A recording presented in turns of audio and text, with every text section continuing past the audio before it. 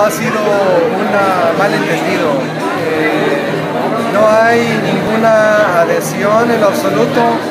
Lo habrá una vez que se agote un proceso democrático y participativo como es eh, la costumbre de Acción Nacional y donde el día de mañana, el 17 de febrero, que es la elección interna, si el señor Gándara me gana o la voluntad de los panistas dicen que él es, yo me sumaré sin recato al trabajo para poder refrendar la gubernatura en Sonora. Pero lo mismo pido, yo he dicho y en el video digo, lo mismo yo pido, cuando yo le gane a él, yo pido también que él venga sin recato y se sume, porque el compromiso es ir juntos para ganar el gobierno de Sonora.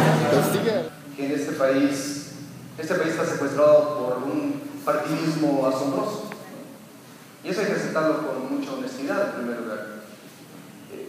Hoy los partidos políticos simple y llanamente ven rentabilidad electoral y a veces no ven la esencia de la persona a quien van a, a proponer. Yo recuerdo no hace mucho todavía en Acción Nacional existían mecanismos que te obligaban a revisar a quién iba a postular a Acción Nacional. Se revisaba a detenimiento.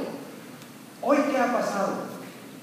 Hoy ha pasado simplemente que nos vamos por la rentabilidad electoral. No importa de dónde venga, no importa de dónde eh, esté obteniendo financiamiento, al final del día lo que importa es ganar.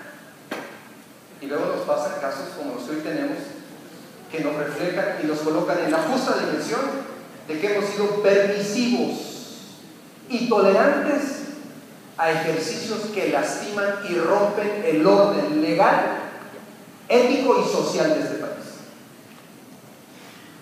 En tanto no aceptemos con serenidad que hoy los partidos políticos simplemente están buscando la rentabilidad electoral y lo vean como negocio, realmente no creo que tengamos un mejor mañana.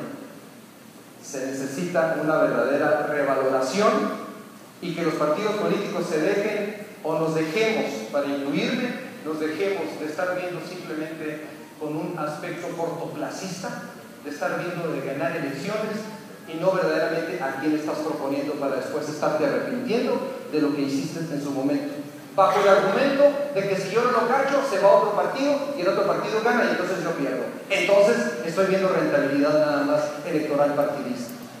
Creo que tendremos que romper ese, ese paradigma que nos está lastimando muy fuerte a todos los mexicanos y que hoy en día creo que ese enojo y ese coraje que existe de muchos millones de mexicanos agraviados por lo que sucede, lo podamos canalizar correctamente para hacer cambios de fondo que verdaderamente nos permitan tener una mejor sociedad.